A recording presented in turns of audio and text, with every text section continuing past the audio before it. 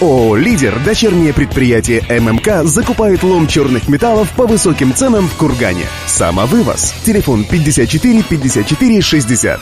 Здравствуйте, с прогнозом погоды вас знакомит Ксения Оземка.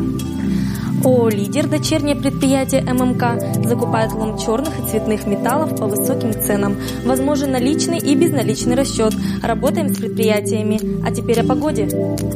Завтра Урал по-прежнему окажется в теплом секторе Атлантического циклона, и жара в регионе усилится.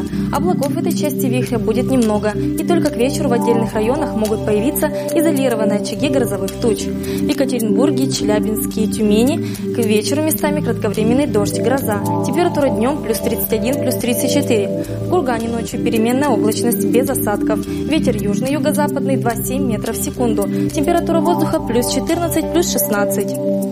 Днем в Кургане переменная облачность без существенных осадков. Ветер южной четверти 2,7 метров в секунду. Температура воздуха плюс 32, плюс 34. Атмосферное давление будет падать. 10 августа солнечная активность и геомагнитное поле спокойные. На этом я прощаюсь с вами. Всего доброго. Стиль ведущий предоставлен студией красоты Флоренция. Красина 94, дробь 4.